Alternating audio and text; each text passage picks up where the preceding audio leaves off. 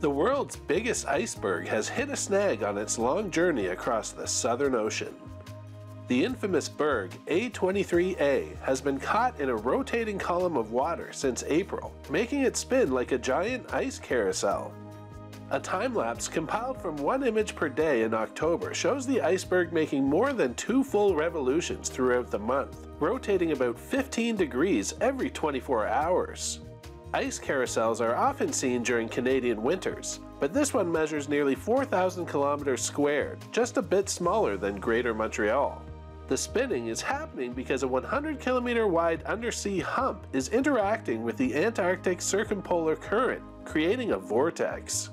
First formed in 1986, the iceberg began drifting in 2020 after dislodging itself from the seafloor. It was thought that A23A would follow the current away from the polar region and melt in warmer water.